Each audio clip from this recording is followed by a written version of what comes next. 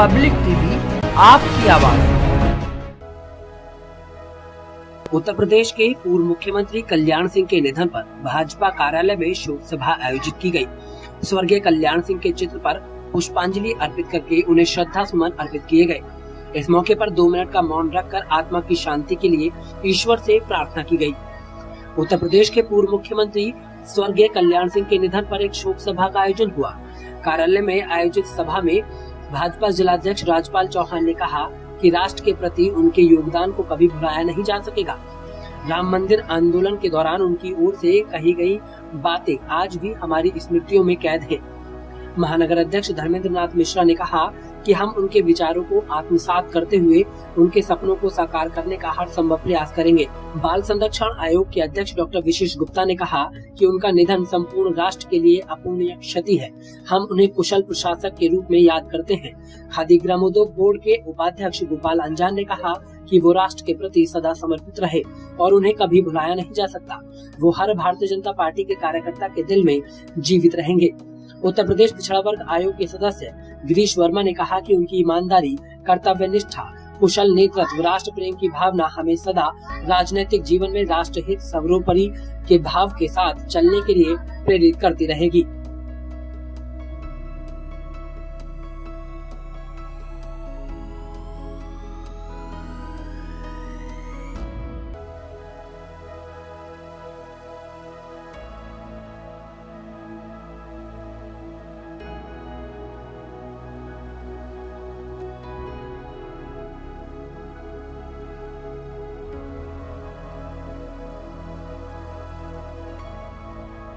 आज हमारे उत्तर प्रदेश के पूर्व मुख्यमंत्री और गवर्नर हिमाचल प्रदेश के गवर्नर हमारे राम भक्त श्रद्धे कल्याण सिंह जी की शोक सभा भाजपा कार्यालय पर रखी गई थी।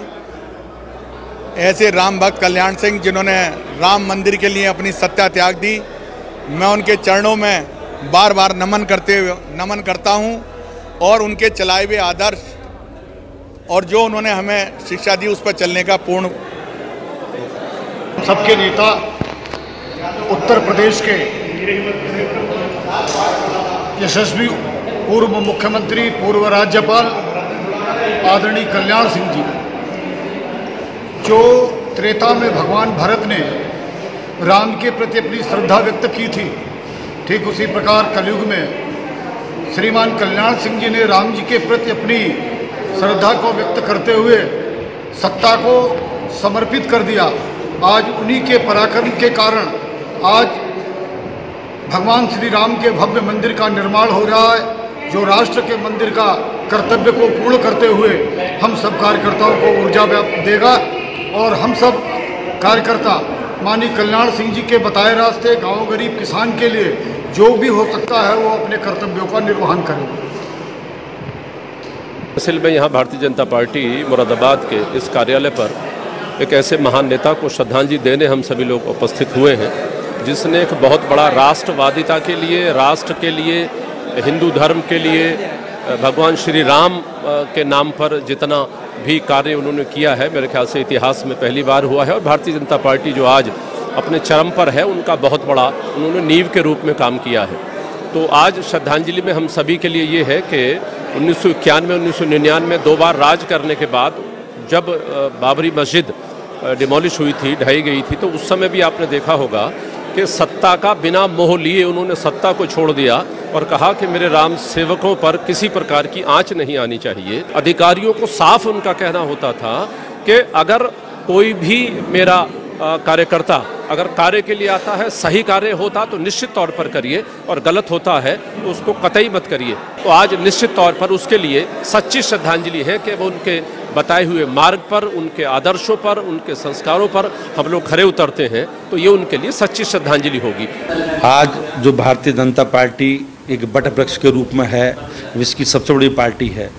इसको यहाँ तक पहुँचाने में जो शीर्ष तीन चार नेता रहे उसमें कल्याण सिंह जी का प्रमुख नाम है। इस उत्तर प्रदेश में प्रथम बार मुख्यमंत्री भारतीय जनता पार्टी के बने तो कल्याण सिंह जी बने। और आज जो राम मंदिर की हम लोग कल्पना कर रखी थी, हमें जो भव्य राम मंदिर बनने जा रहा है, उसका श्रेय मैं केवल केवल केवल केवल केवल श्री कल्याण सिंह जी देता हूँ। अगर उत्तर प्रदेश के मुख्यमंत्री कल्याण सिंह जी नहीं होते और वो उस समय ढांचा नहीं गिरा होता तो कोई सुप्रीम कोर्ट का आदेश कोई कुछ नहीं कर पाता। और मैं समझता हूँ शायद मेरे जीवन में ये जो मेरा सपना राम मंदिर देखने का था, वो पूरा नहीं होता।